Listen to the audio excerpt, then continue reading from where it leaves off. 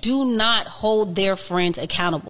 Ooh, yeah. Um, I'm going to have to go ahead and sort of disagree with you there. We know statistically there are more single black mothers than any other race. If anything, it's kind of your fault that I'm here. So I have to ask, it, it couldn't possibly be black men holding other black men accountable. Was, yeah, it was shown. It was When are you guys going to stop fucking around with excuses? This is why that, that logic is flawed, right? Because what, what you're not taking into account is is that a lot of women have baby daddies by who already have kids. Come on down. You're the next contestant on The Price is Right. You know what? You know what a shocking stat is? Is that 30% of men in this country today are still virgins.